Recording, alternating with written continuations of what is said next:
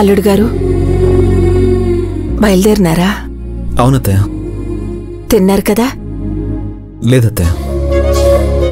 తినకపోవడం ఏంటి ఇందాక మళ్ళీ మీకోసం చపాతీలు చేసినది కదా. మళ్ళీ? ఆ? బాబుగారికి తినటానికి తీసుకెళ్ళటానికి చపాతీలు చేసినావు కదా. మరి బాబుగారికి పెట్టలేదంటేటి? అమ్మా అది అమ్మా అయిపోయాయి అయి అయిపోవడం ఏంటి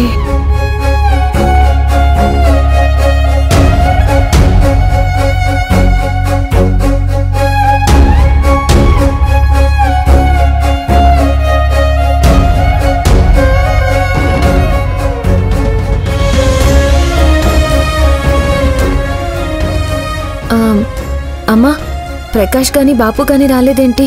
బాబు గారిని బస్ ఎక్కించి రావాలి కదా.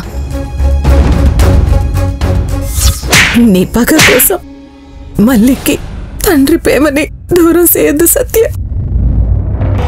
కన్న తల్లిగా తన బాగోగులు బాధ్యతలు ఎవరు తీసుకోవాలో నిర్ణయించుకునే హక్కు నీకుంది. మధ్యలో నేనెవరిని? నేనేమి కాను. నేనెవరికి ఏమీ కాను.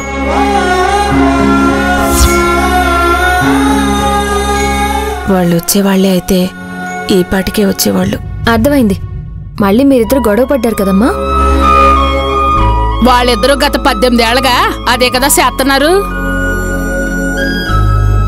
ఈ రోజు కొత్తగా అడుగుతావేంటే? వాళ్ళిద్దరూ ఇంకా కలవరన్నట్టుగానే గొడవ పడుతుంటారు. కానీ మళ్ళీ వీళ్ళనెవరూ విడదీయలేరు అన్నంతగా కలిసిపోతారు. సిగ్గులేరు జన్మలు. ఇదంతా చూస్తున్నా మనం ఎర్రి బాగులోళ్ళవే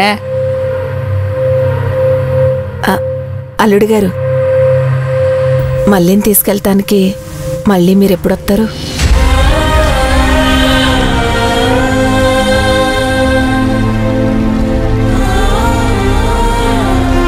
అవును మరి. బాబు గారింటికి మన ఇంటికి గవర్నమెంట్ వాళ్ళు ఎక్స్ప్రెస్ ట్రైన్ వేశారు. ఏ పని పాట లేకుండా రోజు వస్తూ పోతూ ఉంటారు. నాకు తెలీదా? నేను ఎప్పుడు వెళ్ళాలో? నాకు తెలీదా? పట్నం ఎలా వెళ్ళాలో? నాకు పెద్ద చదువులు చదువుకోవడానికి పరీక్ష ఒకటి ఉంది. అది రాయాలి నేను. అది అయ్యాక సమయం చూసుకుని నేను ఇంటి నుంచి వెళ్ళిపోతానులే. అదే పట్నం వెళ్తా అంటున్నా. సరేనా? నేను ఒంటరిగా ఉండగలను ఒంటరిగా వెళ్ళగలను. అర్థమైందా? నీ ఇష్టం మళ్ళీ. కానీ నీకు ఎంత కోపం ఎందుకు వచ్చినది ఇప్పుడు నేనేటన్నానని. సరే బాబుగారిని తీసుకెళ్ళు. దగ్గరుండి బస్ ఎక్కించిరా. బాబుగారు దారిలో ఏదైనా తినండి. అట్టాగే క్షమించండి. మీకేమీ తినడానికి పెట్టకుండానే పంపిస్తున్నాం. పర్లేదు అత్తయ్య. ఒక్క నిమిషం అల్లుడు గారు.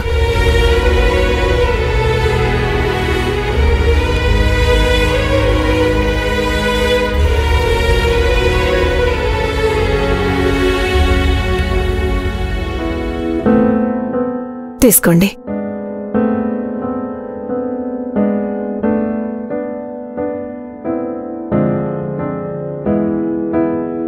చూపు నిన్ను చేరాలని శ్వాస నిన్ను తాకాలని ప్రేమే. నిండు నూరేళ్ళు మీరు ఆనందంగా ఆరోగ్యంగా ఉండాలి. థ్యాంక్ యూ అత్తయ్య.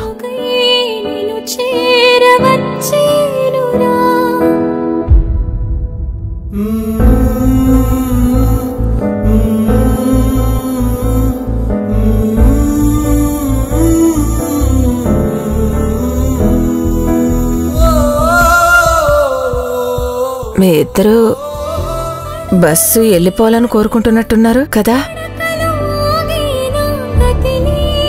ఆ, అదేం లేదు అత్తయ్య. పద మళ్ళీ.